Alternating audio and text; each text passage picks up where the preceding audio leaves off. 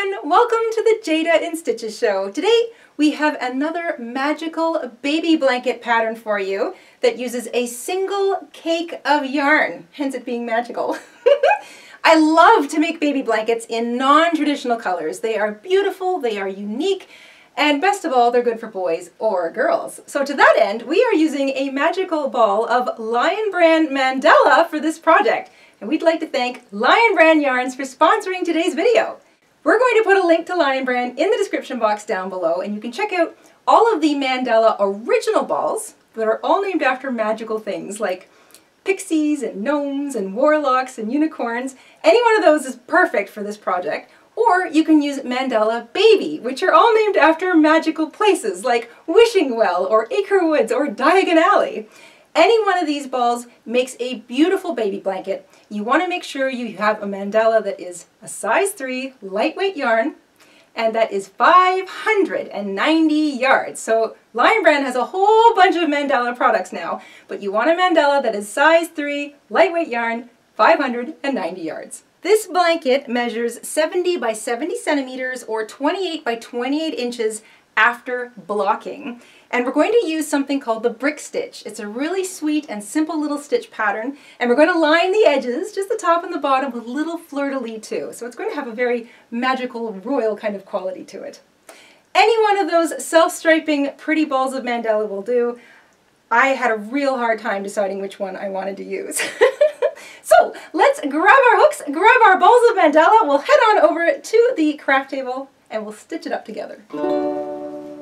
Easily find all of our crochet tutorials. Type youtube.com slash Jayda and Stitches into your web browser and we'll see you there. In order to make our one cake baby blanket, I'm using a classic mandala. You can also use mandala baby. So long as it's a size 3 lightweight mandala cake and it's 590 yards. And any one of those color combinations looks beautiful with this particular pattern stitch. You want to have a pair of scissors, a yarn needle, and the hook I'm using is a 5.0 millimeter, also known as an H or an 8 in the US, a 6 in the UK. And once you've got all that together, we can get started. We're going to begin with a slip knot. The brick stitch pattern can be worked over any multiple of three stitches plus two at the end. So any multiple of three chains plus two. So we're going to chain 116. 114 is the multiple of three, plus two chains gives us 116. 116 chains to begin.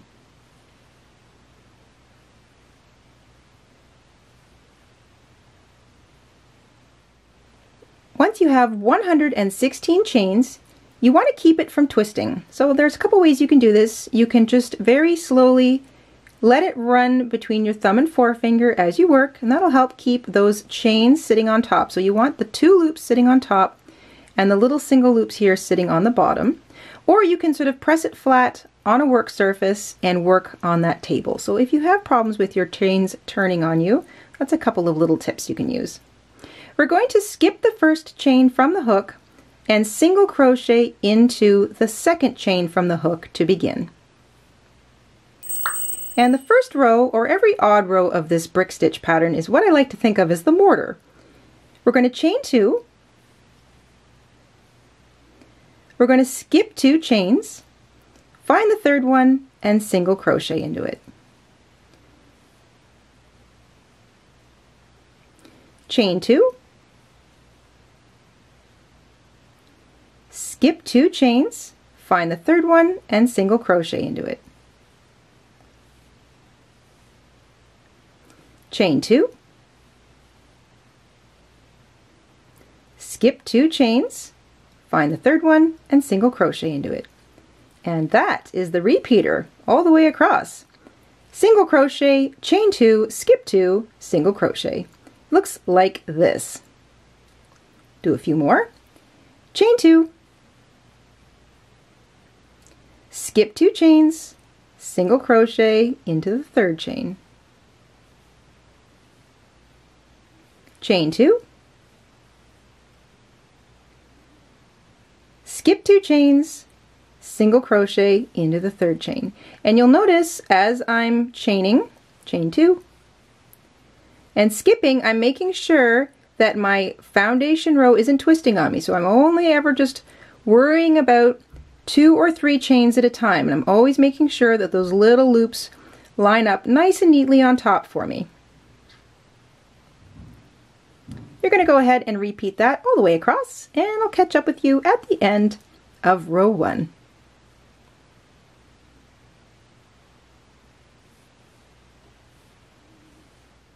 Once you get across to the end, you should have, after your second last single crochet, three chains left.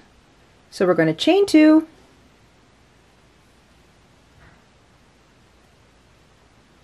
skip the last two chains and then single crochet into the very last chain. And you should have 38 little chain two spaces that you can sort of put your finger through all the way across. At the end of an odd row, so you finish your row with a single crochet, you chain three and the chain three at the beginning of an even row will count as a double crochet. So we're going to spin our work around now. And this is a very simple row. I'd say both rows are pretty simple, but this one is, is especially so. Into each chain two space, you're going to work two double crochet. So right into the space.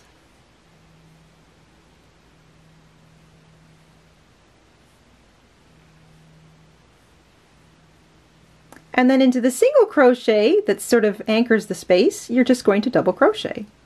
So double crochet right into the top of that stitch. And then we start all over again.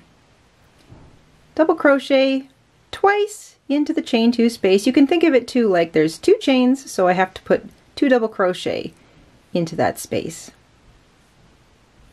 And then when you get to the stitch, the little single crochet, you're going to double crochet right into the top of it. So if it helps to sort of turn it so you can see the top of the stitch, you're putting your hook right underneath it, and double crochet. So two double crochet in every chain two space, and a double crochet in the top of each of those little single crochet stitches from the previous row. And that's all you're doing all the way across. And you're kind of creating a firm, sort of solid row of just plain old double crochet with these cute little spaces below them. So double crochet into the top of each stitch and two double crochet into each chain two space all the way across.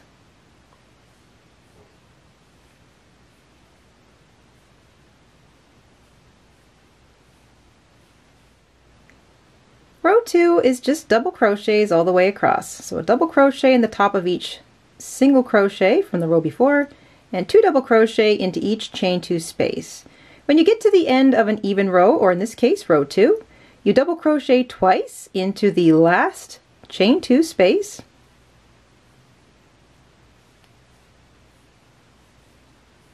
And then double crochet into the top of the last stitch. And it's small so don't miss it. And including the chain three that began the row, you'll have 115 stitches all the way across at the end of row two. You're going to have 38 chain two spaces in every odd row and 115 stitches in every even row. And remember, that chain three that begins every even row, this little guy over here, that counts as a double crochet. So don't forget to count it when you're counting up all of your stitches. And that is the repeater pattern. So here we go. We're going to do an odd row again. We're going to chain one. So to begin an odd row, you chain one, turn your work. And the little chain one that we use as a turning chain does not count as a stitch. So because of that, we're going to single crochet right into the top of that double crochet from the previous row. So you just single crochet right into the top of that first stitch. That chain one is completely ignored. It doesn't count as anything. It just turns the corner for us. And our little odd row commences. We chain two, skip two stitches, find the third, and single crochet into it. Chain two, skip two stitches, find the third, and single crochet into it. So it's single crochet, chain two, skip two, single crochet into the next stitch. And that's all you're going to do all the way across. That is an odd row. Every odd row is the same. And I'll see you at the end. As you get across to the end of an odd row, you can see all your little chain two spaces there. The row will always end single crochet, chain two, skip two stitches, and you're going to single crochet in the top of the turning chains. So that chain three counts as a double crochet, and you just find the top of the chain three. You can use whatever part of it you want, and single crochet to finish an odd row. You'll still have 38 little chain two spaces all the way across. And that's what it's starting to look like. Let's start an even row again together. So odd rows are the mortar, even rows are the bricks. That's the way I like to think of it. The odd row is the little flat single crochet, chain two, skip two, single crochet stitch. Every even row begins by chaining three, which counts as a double crochet. Turn your work. Because that chain three counts as a double crochet, we're not working into that first stitch, this little guy here. We're going to work directly into the chain two space. You're going to work two single crochet into the chain two space and every chain two space all the way across because all we're doing for the brick row double crochets when you get to a stitch right there double crochet into it. So double crochet twice into each chain two space double crochet into each little single crochet from the previous row. You'll have 115 stitches all the way across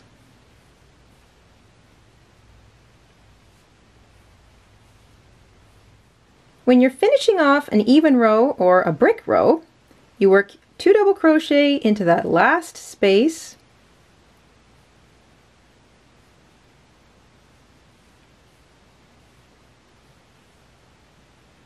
And then a double crochet into the top of that last stitch. And it's small so don't miss it. There we go. And all you're going to do now is repeat the even and odd rows. So the odd row is the little short row, the mortar, and the even row is the tall row with the double crochet. That's what I like to think of as the bricks. We're going to do a total of 57 rows. 57 rows will have us ending on an odd row. So an odd row, chain one, turn, single crochet into the very first stitch because the chain one turn doesn't count as anything but a turn. And then you're off to your regular little chain two, skip two, single crochet. So an odd row is what we're going to end on. That will be row 57. And every odd row is just double crochets all the way across. And don't forget that the chain three that begins an even row counts as a double crochet. So when you get across to the end of an odd row, you're single crocheting into the top of those chain three turning chains. So don't forget that. Chain three counts as a double crochet, but the chain one turning doesn't count as anything. Oops. Yep, chain two, good. Chain two, skip two, single crochet. So you're going to repeat odd row, even row, odd row, even row, all the way until you get to 57 rows. And that should leave us with just enough to make a tiny little neat trim border.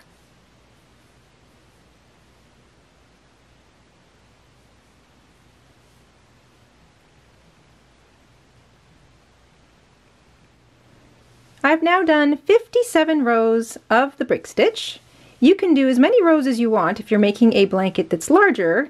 Obviously you're going to need more yarn, but as many rows as you want as long as you end on an odd row. And the odd row, of course, is that little mortar row. So 57 rows altogether for the one cake blanket, and now we're going to get into the border. This is a border with a bit of a difference. There's lots of interest up the top and the bottom, and then the sides are just sort of small and neat and tidy. Uh, it's kind of a fun way to finish off a blanket, and it's a little more unusual, which is another reason that I like it for a non-traditionally colored baby blanket. We're going to begin by chaining three, and we're going to turn our blanket, and we're going to make a series of what look like little fleur-de-lis across the top of the blanket. So your chain three, you're going to slip stitch into that first stitch. And before we move on, we're going to chain five.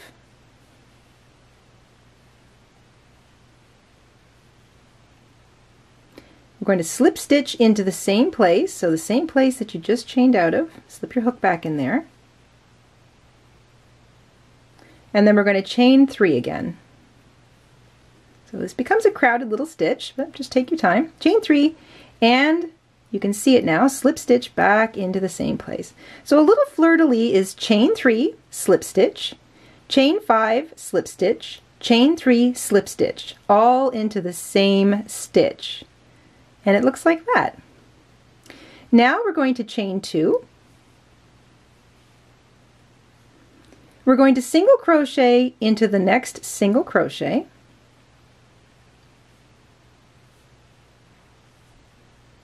We're going to chain two. And now we're going to make another little fleur-de-lis in the next stitch. So we're ignoring our little chain two spaces.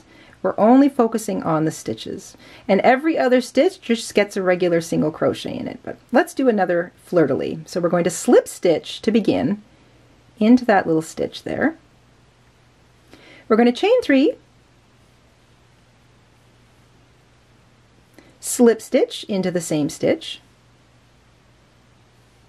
chain five,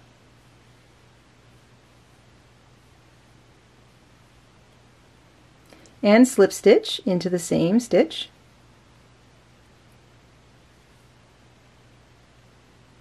And chain three more. And it helps to just sort of keep pressing the little leaves, I guess they're like, out of the way.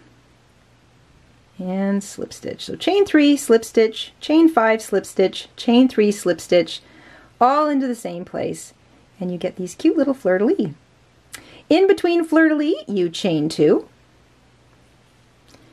That crosses the chain two space. You single crochet into the single crochet from the previous row. And then you chain two again and into the next stitch, so you cross that chain two space, into the next stitch you create a fleur-de-lis. So slip stitch, chain three, slip stitch, chain five, slip stitch, chain three, slip stitch. And that's all you're going to do all the way across. So your little fleur-de-lis are separated by chain two, single crochet, chain two. So they're not bunched together and you can see them sitting neatly across the top of your blanket.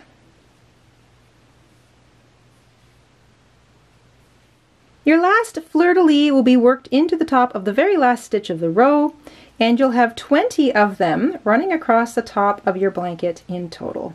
So 20 little fleur-de-lis, and when we do this across the bottom, you'll have the same number, 20 fleur-de-lis in total. The sides of the blanket are a little simpler. We're going to just very neatly work our way down just to sort of smooth off the edges. So we're going to begin by chaining two. So right after we finished our last fleur-de-lis, we're going to chain two, and into the edge of an odd row, so this is the little, the little mortar row, you can identify it easily by seeing that space, just plunk your hook right through the edge of it and single crochet. Chain two, try not to keep your, uh, try not to make your stitches, I should say, too tight. So you want to chain not loose, but not tight. Jump down to the next mortar row or the next odd row, put your hook through the edge and single crochet. And this is all you're doing, all the way up and down the sides of the blanket. So you chain two, skip down to an odd row, slip your hook through the edge of it, and single crochet. And the reason you don't want your chains to be too tight or too loose is because you don't want to sort of tighten up the side of your blanket and you don't want it to be sort of floppy and loose. You want it to look nice and straight up and down. Just sort of to look like the edges kind of like that little mortar, that space row is now running down the edge of the blanket. And both sides are going to look like that. So chain two, skip down to the odd row, slip your hook through the edge of it, single crochet, and that's all you're going to do all the way down.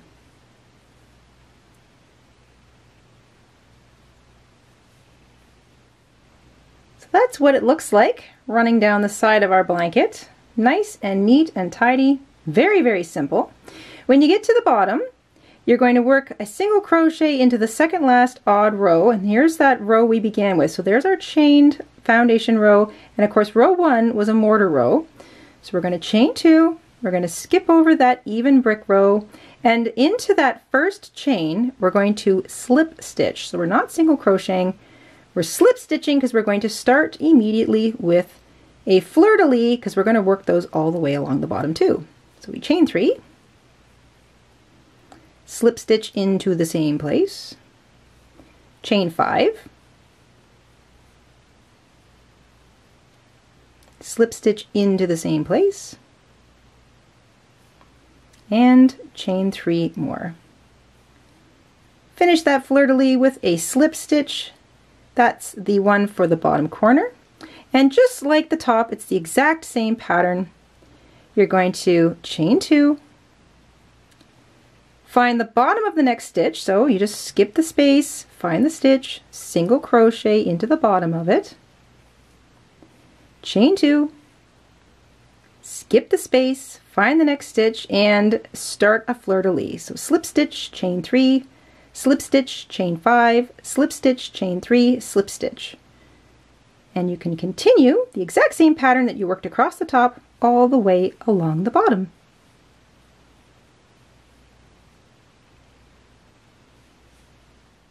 You'll have 20 little fleur-de-lis all the way across the bottom, mirroring the top. And when you get to the end, your last fleur-de-lis will be worked into the last stitch. That will be the first chain that you made, and you may still have your little tail hanging off of it. And now we're going to just do exactly what we did up this side that we did up the other side. So we're going to chain two, we're going to hop over top, I'm going to weave that in later, hop over top of the brick row, find the big space, which is the next odd row, and we're just going to slip our hook through the edge of it and single crochet. There we go. Chain two, hop over to the next odd row, slip your hook through the edge of it. You can use whatever part of it feels good or makes sense. And remember, you don't want to make your stitches too tight or too loose. You want to keep that nice even sort of edging going all the way up the side. And that's it. You're going to work that all the way up this last side of the blanket and I'll see you at the top.